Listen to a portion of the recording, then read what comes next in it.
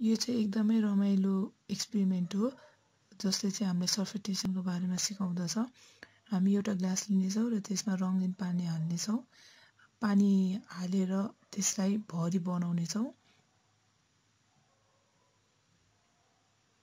र हामी ड्रपबक्सको मद्दतले पानी हाल्दै जानेछौँ र त्यसलाई पानी अट्दै नअट्ने गरी मजाले भरि हुने गरी त्यसलाई हामी राख्नेछौँ।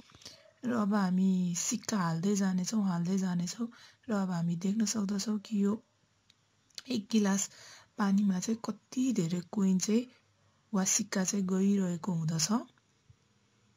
यो चाहिँ किनभने पानीको छाला हुँदछ र जब यो हामी हाल्दै जाँदछौँ त्यतिखेर चाहिँ यो पानीको स्किनले चाहिँ पानी बाहिर जानबाट रोक्दछ। र जब हामी हाल्दै जान्दछौँ हामीले यो हल्लेको देख्दछौँ। यो चाहिँ कन्भेक्स हुने छ।